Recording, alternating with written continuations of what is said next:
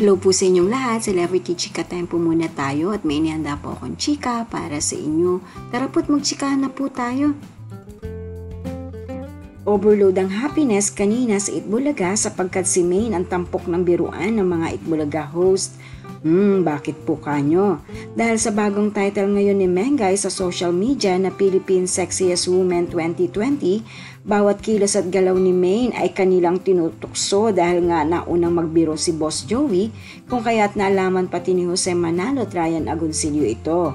Kanina nga ay naobliga si May na mapasayaw tulad ng ginawa ng isang participant sa bawal judgmental. Naging katatawanan ito dahil sa sinabi ni Jose na ganyan mga Bulakenya very talented. Maging pati si Bossing Vic sa kanyang pagkakaupo ay napapaindak, napapasabay sa kanyang anak-anakan. Matapos mag-itik-itik, este magsayaw ay pinuri ni Ryan si Mengay at sinabing lakas makasexiest ng dance steps.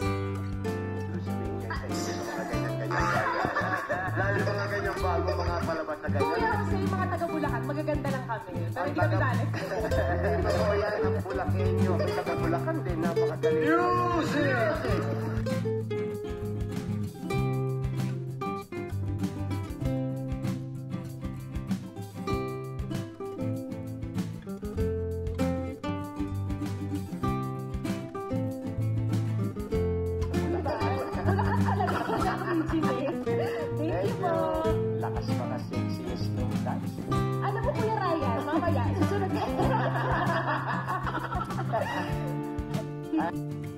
O si, ganyan silang mga dabber cards, walang tigil ang asaran hanggat hindi naaasar o napipikon ng isa't isa. Pero in fairness, yan ang namimiss ng mga makamatured at makaaldab ang napaka-energetic na Mengay sa Itbulaga. At syempre, ang kanilang pagtitiktok ni Alden na sobrang miss na miss na rin ng lahat. Ay, sana nga naman one of these days ay mag-itbulaga si Alden. Kung magkagayon, happy na happy na naman ang lahat at paniguradong wala na naman kurapan sa harapan ng kanilang telebisyon.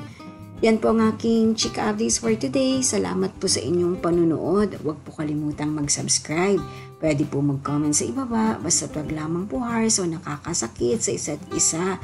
Salamat po muli. Spread love, not hate.